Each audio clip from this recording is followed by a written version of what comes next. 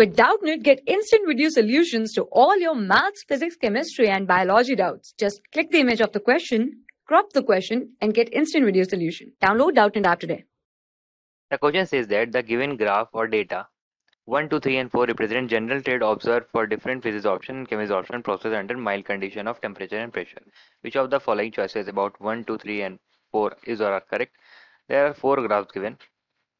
In the first graph, as we increase the temperature, the amount of gas decreases. In the second graph, as the temperature increases, the amount of gas decreases. In the third graph, there is slight change. It should be pressure instead of temperature. So if we increase the pressure, the amount of gas adsorbed uh, also increases.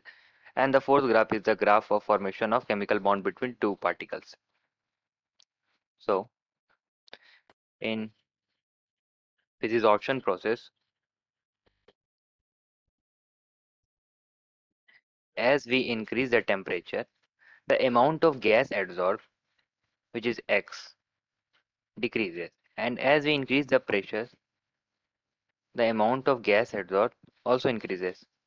And since chemi chemisorption is the process which involves the actual making of chemical bond between the two molecules, so in chemisorption,